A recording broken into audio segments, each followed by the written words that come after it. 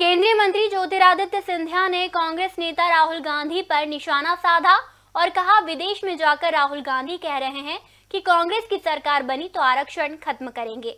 ऐसे में दलित आदिवासी और पिछड़े वर्ग के भाइयों बहनों को सचेत करना चाहता हूँ, कांग्रेस से सावधान रहें। कांग्रेस ने जब बाबा साहब अंबेडकर जीवित थे, उन्हें भी नीचा दिखाने का काम किया है।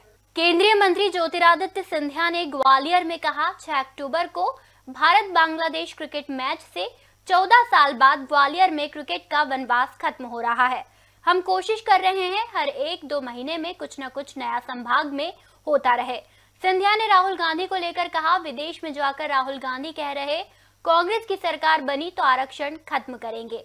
दलित आदिवासी और पिछड़ा वर्ग के भाइयों, बहनों को सचेत करना चाहता हूँ। कांग्रेस ने बाबा साहब अंबेडकर को नीचा दिखाने का काम किया है। भारतीय जनता पार्टी जब सरकार में आई तो अटल बिहारी वाजपेयी की सरकार और वर्तमान में प्रधानमंत्री मोदी की सरकार ने बाबा साहब अंबेडकर का सम्मान किया है।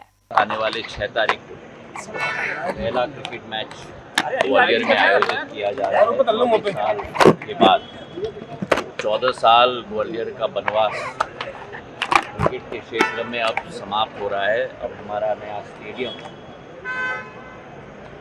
अंतर्राष्ट्रीय स्तर का स्टेडियम अब तैयार हो गया है दलित समाज, आदिवासी समाज के भाइयों और बहनों को मैं सचेत करना चाहता हूँ। कांग्रेस अगर आएगी तो जिस तरीके से बाबा साहब अंबेडकर जब जीवित थे, उनको नीचे दिखाने का काम किया था। चुनाव में उनको हराया था।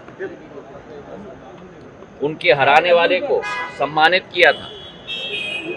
भारतीय जनता पार्टी जब आई थी तो भारतीय जनता पार्टी ने अटल बिहारी वाजपेयी जी के समय में और प्रधानमंत्री जी के समय, दोनों के समय में बाबा साहब अंबेडकर को देवता की तरह पूजा है।